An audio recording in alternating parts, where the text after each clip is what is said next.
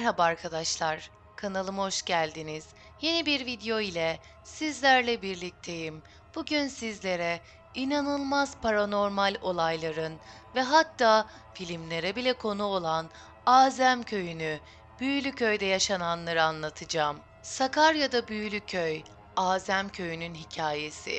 Bir asır önce 1921 yılında 117 haneli köyün boşaltılmasına neden olan bir hikaye. Bu hikayeye baktığımızda korkmamamız işten bile değil. Öyle ki köy halkı yaşadıklarının ardından yuvalarını, evlerini terk ederek bu köyü yalnız bırakmışlardır. Tabi buna yalnız bırakmak denilirse. 1921 yılında Sakarya'da yaşanan olayda köylüler sık aralıklarla geceleri çığlık sesleri duymaya başlamış.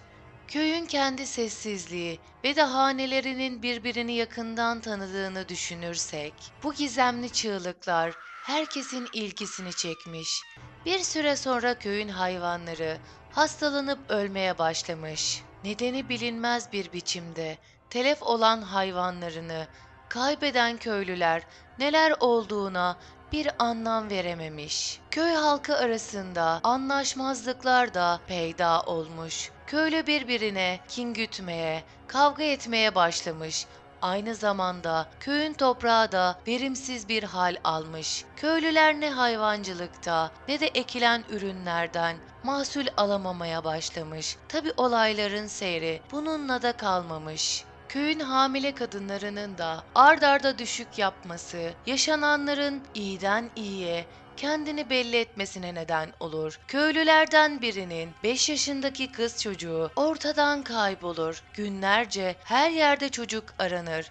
Ancak hiçbir şekilde hiçbir yerde bulunamaz. Bir süre sonra ansızın gece yarısı çocuk evinin kapısını çalar.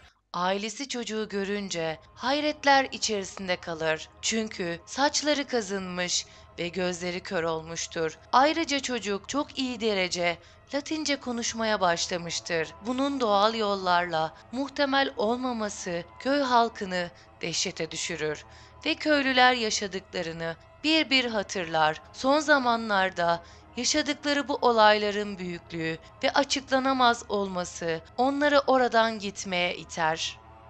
Yaşanan bu olayların ardından köyün 117 hanesi köyden kaçar. Köylülere göre çocuğu cinler kaçırmıştır. Sebebi ise çocuğun ölen babaannesinin büyücü olduğu ve cinlerle bir anlaşma yaparak çocuğu cinlere adak olarak adamış olmasıdır. Bir başka söylentiye göre de biri köye büyü yapmıştır. Köye giren hayvanların dahi sağ çıkmaması ve ekilen ürünlerin de tutmaması bu düşüncelerini destekler. Anlatılana göre dönemin birinde bir cami imamı bu köye girmiş ve konuşma yetkisini kaybetmiş bir şekilde geri dönmüştür. Günümüzde hala konuşulan bu olaya dair birçok teori üretildi. Köyün lanetlendiği, bir aileden kaynaklı olduğu, köye büyü yapıldığı gibi birçok söylenti çıktı. Hangisi doğrudur bilinmez ama ürkütücü olduğu bir gerçek. Hatta filmlere bile konu olan köyün film çekimlerinde paranormal olaylar peşlerini bırakmamıştır. Ekibin çekim yapmış olduğu zamanlar kış aylarına denk gelmekte olduğu için köyde gerçekten kimsenin bulunmaması ekibin zorlu bir süreç geçirmesine neden oluyor. Bununla birlikte aksilikler ve enteresan tesadüfler hiç yakalarını bırakmıyor. Çekim öncesi gerçekleşen araştırmalarda cinlerle bağdaştırılan 33 rakamı ile ilgili tesadüfler önem arz ediyor.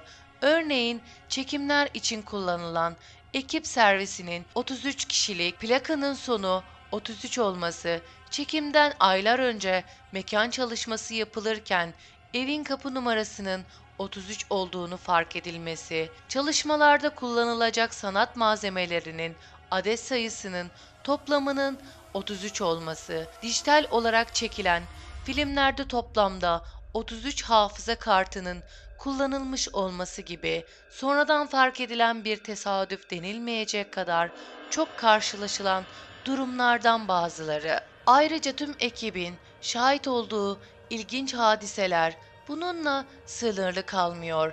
Çekime başladıkları ilk gece evin tavanından gelen garip bir ses ile beraber tüm ekibin aynı anda ağzında kan tadı oluşması, her set bitiminde toparlanan malzemelerin sonrası gün darmadağın şekilde bulunması ve sette tüm ekibin gözlerinin önünde malzemelerin bulundukları masadan birdenbire yere yuvarlanması gibi ilginç olaylardan binaen çekimlere ara verilmesine, ekipten bir arkadaşlarının korkudan İstanbul'a geri dönmesine ve tüm bu tedirginliklerden binaen evin hakikat hocalar tarafından okutulmasına neden oluyor. Okutulma işleminin ardından ilerleyen günlerde başka aksiliklerle karşılaşmadıklarını açıklayan yönetmen ve ekibi bu filmde yer almanın kendileri için çok fazla farklı bir tecrübe olduğunu söylüyor. Evet arkadaşlar, bir videonun daha sonuna geldik.